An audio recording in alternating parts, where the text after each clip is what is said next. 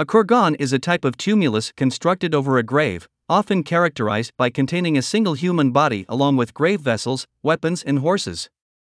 Originally in use on the Pontic, Caspian steppe, kurgans spread into much of Central Asia and Eastern, Southeast, Western, and Northern Europe during the 3rd millennium BC.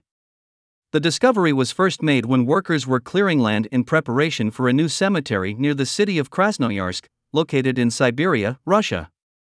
The clearing works bulldozed a 30 m diameter mound which they thought at the time was a natural hill, however, much of the inner tomb has survived, which researchers from the Siberian Federal University, led by Dr. Dmitry Vinogradov, have been excavating since 2021.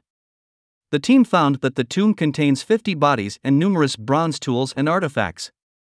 This exciting discovery belongs to an as yet unidentified culture. The site dates from around 2000 years ago and belongs to a previously unknown Scythian type culture.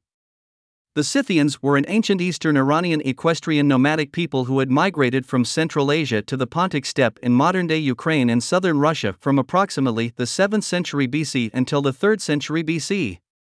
Buried with the deceased are beads, bronze plaques, miniature symbolic bronze daggers, and battle axes, as well as knives, mirrors, needles, and ceramic vessels. Most notably is the discovery of a plaque depicting a stag, a popular motif in Siberian Scythian animal art. The researchers believe that the site served as a family tomb for generations, after which, was sealed off and set on fire. This is supported by the discoloration found in the soil, which suggests that it was subject to intense heat. The tomb would then have been covered in soil to create what the people of the steppe call a kurgan, burial mound.